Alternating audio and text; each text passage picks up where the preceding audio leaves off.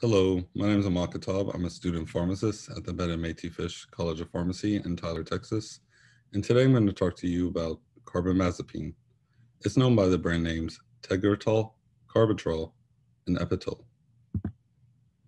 This medication is in a group of medications known as anticonvulsants. They're used for the treatment of seizures and epilepsy.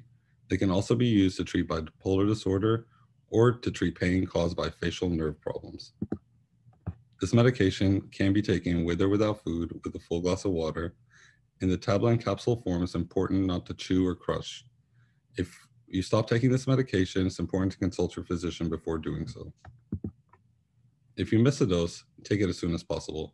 If that missed dose is closer to, to your next dose, skip the missed dose and continue on your normal schedule. It's important not to double dose or take extra of this medication.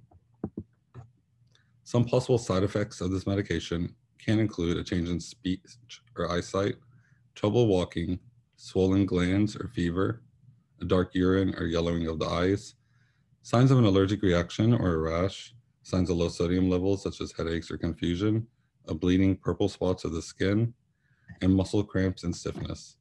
You should report any of these side effects to your physician immediately.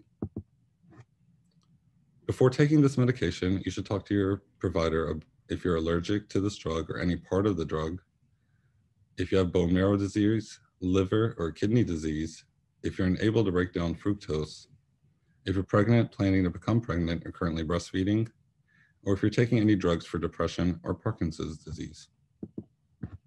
This medication should be stored at room temperature, out of reach of children and pets. You should protect it from light and moisture, so please don't store it in the bathroom. Proper disposal of unused and expired medication should happen. That's all I have for you today. Thank you for your time.